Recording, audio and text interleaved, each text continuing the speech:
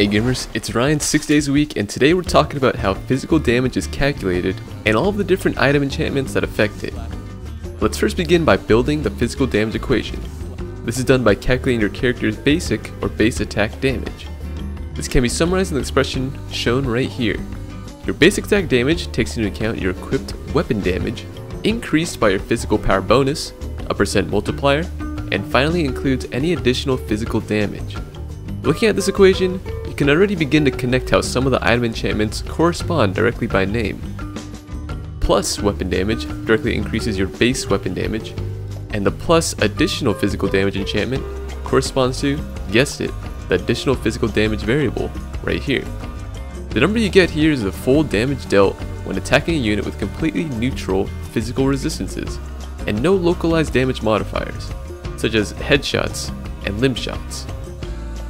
I use the term neutral there since physical resistance can actually drop below 0%, in which damage is amplified, if your equipped armor rating is below 10.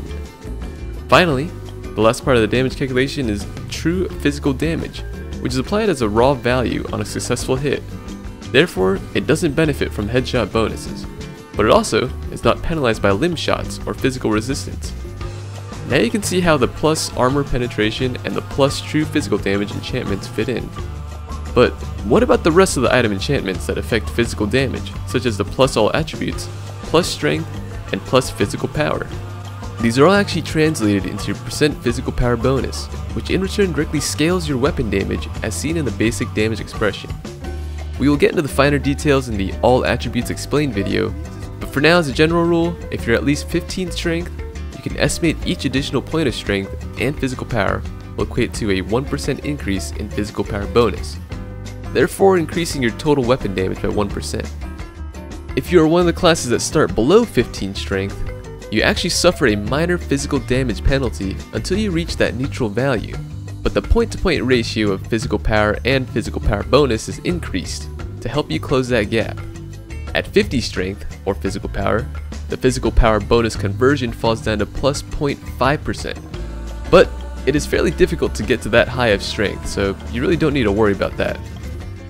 We can now revisit the full equation with the list of enchantments and know exactly how they're added in when calculating our on-hit damage. Just remember that your weapon damage is comprised of your base weapon damage and any damage from the plus weapon damage enchantment, and that the enchantments added to your physical power bonus will not always be in a 1 to 1 ratio. Here's that equation again, just without all the extra details. Now, how can we put a value on the different damage focused item enchantments? At this point in time, we can generally say that the plus all attributes enchantment is the most beneficial to any physical damage focused build, as it provides physical power and HP through strength, and attack and movement speed through agility. The other stats may also be important to your build, but that's all covered in the attributes explained video. In the same vein, plus strength is also a great enchantment as it gives health and physical power. Self-explanatory.